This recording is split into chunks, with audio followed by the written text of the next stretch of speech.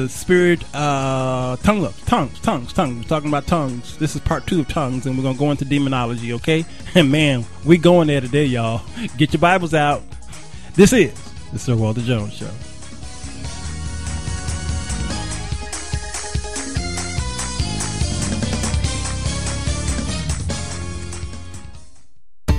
ComEd presents the power of staying in the light. Having trouble juggling all your bills? Are you worried about the lights getting turned off? ComEd Care programs can help you keep the lights on. Care programs offer help to those facing financial hardships. All inquiries are confidential. To see if you qualify, visit comed.com slash care or call 1-888-806-CARE. ComEd, powering lives. Grant amounts may vary while funds are available.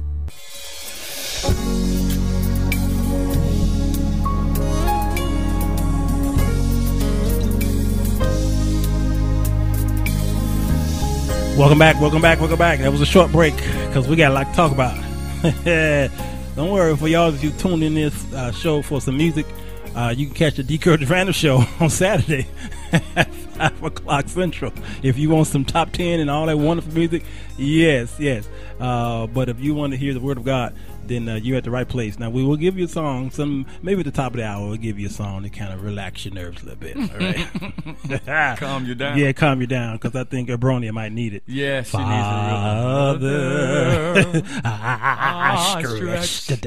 Yeah, yeah, Brona, we got you. We got- Uh, she says all words from any language will never be fully translated into another language. True. Yeah, That's why it's called a translation. yeah, Even in the King James Version, if you'll notice in some of your iPads Mm-hmm. that has the KJV, there are a lot of dashes in there. You, that's true. That dash is there for a reason. Yeah, Because see, some stuff they just couldn't put in your Bible on the pages, Right. For room's sake. But in your iPad, it's there, and you hit that dash, and it'll tell you what's going on. all right, bro. Matter of fact, it is stated that there was a conversation between Moses and God. Mm-hmm. And in some of the older Bibles, there is a space in between there. Mm-hmm, And what literally happened is it is said Moses went into tongues. and the translator could not put what happened in the Bible. Wow. So there was a dash or something in some of the original Bibles. Wow, Because tongue talking didn't just start in the New Testament. right. Even Mo, uh, uh, uh, Isaiah spoke about stammering lips sure and did. stuff like that. He sure did. And and there's no way you cannot be in the presence of God like Moses was Mm-hmm. and just be, you know, hey God, what's up? Yeah, yeah. Something happened Hey, to God, Moses. what's up? well, something happened. Uh, right to to his, his hair too. His hair, his face, the whole thing. Yeah. They had to put a veil over his face. Well, look at the Mount of Transfiguration. yes, sir. Okay. Uh, why do you think, uh, for instance, there was a discussion on Facebook about the tongues, Mm-hmm. about speaking in an unknown tongue, a heavenly tongue, and then speaking in tongues of men. All right? Mm-hmm. And then, then I, I, I, I said, well, why, why would you be in a room of, of all English speakers? Okay, and then God have to give this man a tongue, Mm-hmm. and then somebody in the room have to translate it back into English. It seemed like it's double talking. Yes. I wasn't going there. Don't answer that. Did he just go there? Abronia, tell me. Say he just went there, but go ahead. But what was your answer? What was your answer?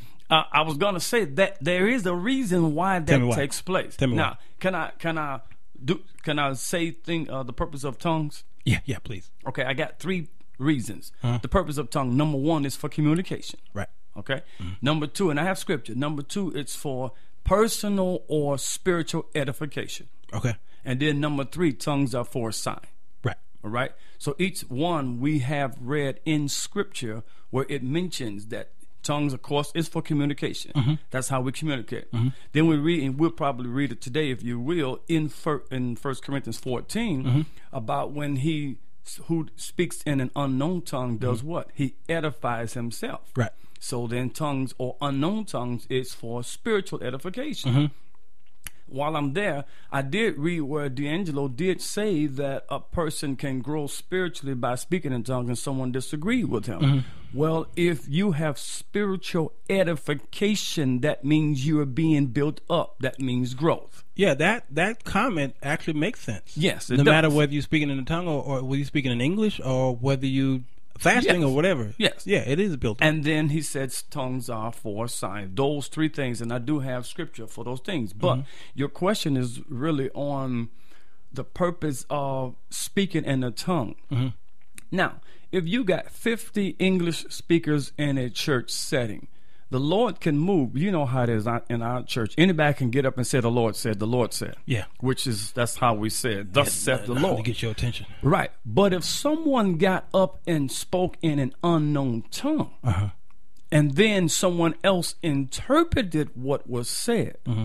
and then the whole church was edified, without a shadow of a doubt, you know that was God. Um. Okay. You said okay when you disagreed with me before, did He's scratching his so I'm gonna just say okay because that okay okay is the interpretation of I disagree. He's scratching his head. we in the Jones family we say okay. That means that means are you through? that's right. Um. Now watch this. yes. he also said, "Why should we go back and do?" Then this is a young man on Facebook. all right? Okay. He also said, "I mentioned Acts 2 about they all spoke in a language that all other men understood. Somebody in that area understood. Correct. So then he says, "Well, why go back and do go, do something old?" So basically, today, I'm hearing a lot of tongues that nobody understands. Correct. Nobody. So Not even. not even Jesus. He's like, really? Can I get an interpretation? Because I'm lost. Two thousand years ago, I'm still. Uh, uh, so why is it then? Because when you hear tongues today, a lot of it sounds alike. Yes. Okay, Yes. it, they're repeating other people. Correct. I, I I attend a lot of churches where where everybody who got up said the same thing. Yes. because they've been hearing it from each other in that because the main person who does that mm-hmm. is influential over Yep. the rest. Right, So right. it's like a mother or mm-hmm. a father, Yeah. and their spirit it's upon the rest of them, and they sound like that person. Absolutely. I can name churches where other the other women who mm-hmm. allegedly speaks in tongues mm-hmm. sounds exactly like the mm-hmm. church mother, the pastor's wife, or whoever. That's an influence. that is an influence. Okay, Yes. which don't which don't make it right. It don't make it right. Okay, now watch this. So why why aren't anybody that I have met in my almost fifty years speaking in tongues like Acts two? Wait a minute. You almost fifty years old?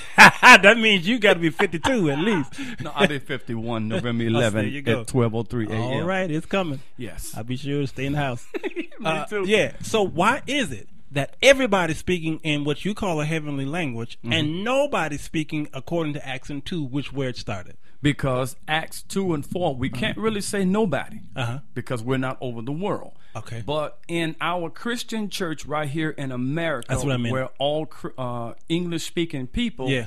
There's no need for Acts 2 and 4. Uh-huh. Because Acts 2 and 4, they spoke foreign language. Mm-hmm. They spoke the language of the other people that was hearing. I see. Wherefore the Bible says signs, uh, tongues are a sign for the unbelievers. Okay. Those unbelievers, Uh-huh. when they heard the believers speaking to the believer a Yeah. foreign language, Right. but to the unbeliever they were speaking in their language. Okay.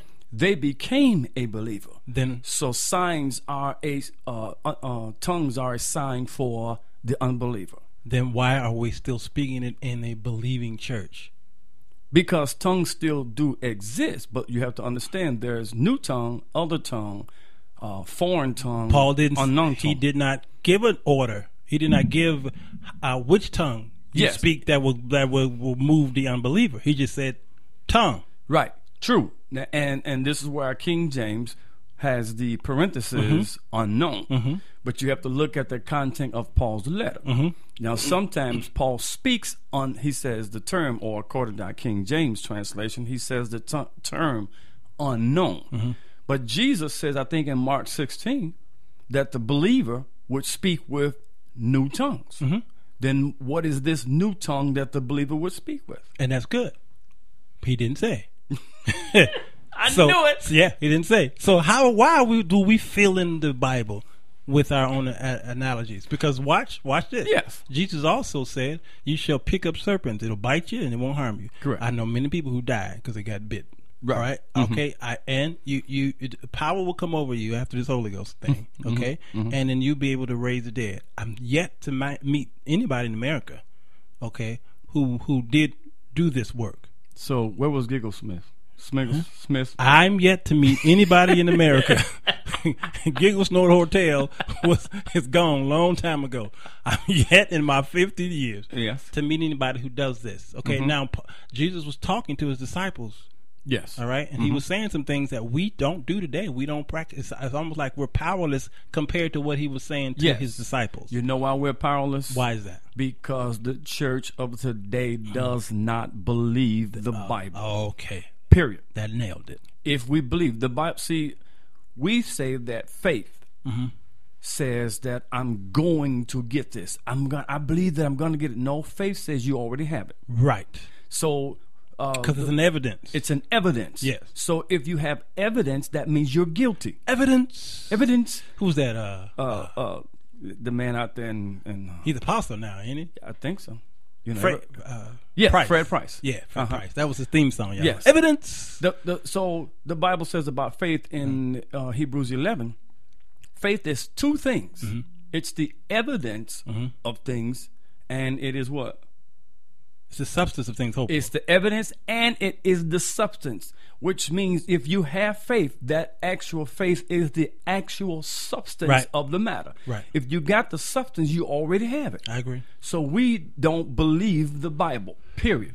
Yeah. yeah. If we if we did, we wouldn't be wrestling, and the church would be further on than what it is. So we have allowed people to change the Bible or influence, or many of our commentators are either not saved or don't believe, and so we have allowed them to influence us. We've allowed uh, the TV programs to influence us. That's why I don't really watch too many religious stations because I don't want to be influenced. Me either.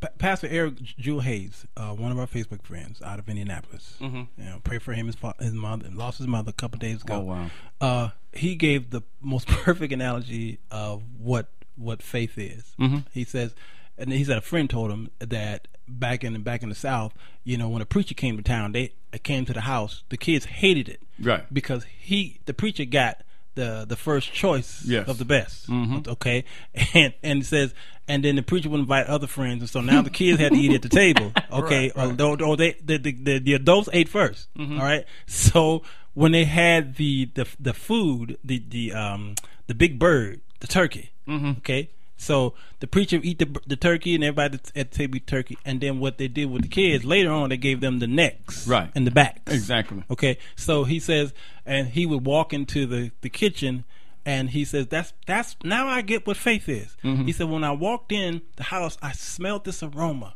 The smell of the turkey was the substance mm-hmm. of things that I hoped to eat." He said, "But when I saw those bones sitting there on the plate, that that was the evidence of the turkey I did not eat." I thought that was perfect. so it's there. Um, uh, now there are there are different Bibles that are in the Bible. Yeah. there are different books. That is, there are different books that are in the Bible. The Bible mentioned books in the Bible itself. Yes. and you tell me if you recognize some of them. One uh, one is the Book of Enoch. Yes. Now, now, now, watch this. Uh, we heard one thing about Enoch at the beginning. It says he walked with God, and, and he was not. and he was not. Right. Good night. Good night. Okay. But when you go into the New Testament, He found you found him in there. he he, he gave a sermon sermonette. So he was. So, so he was. Yeah. But watch this. There's there's the book of the covenant. Okay, in, in, in Exodus 24, there's the, the book of the wars of the Lord, number 21. There's a book of Jasher. Okay, uh, which I have a download of that one. That one in the book of Enoch. I have those two downloads. Uh, the the manner of the kings, or the book of statutes, they call it. The the book of Samuel the seer, n- n- the book of Nathan the prophet, the book of Acts of Solomon. Okay, and I've got scripture references to these books. It's- it's- They're talking about them in these books. Uh, First Kings, Second Chronicles, First Chronicles, First Samuel. They're talking about these books. Uh, prophecy of uh, Abijah, the story of prophet Ida, I- Idol. Okay, uh, visions of Idol, the, the the seer, the book of Jehu, uh, the sayings of seers, the book of Enoch, which I mentioned earlier, the book of Gad, the seer. Okay, these are all books that the Bible itself speak of. Right. But yet we have the canonized sixty six. Right. And then of course uh, the the Catholics have some you know Yeah, the Maccabees other, and all the these other other guys. seven or the other six or something like that. Yeah. Okay. Uh, so uh, apparently we And, and, and really, what that what what that's going to do is segue into our demonology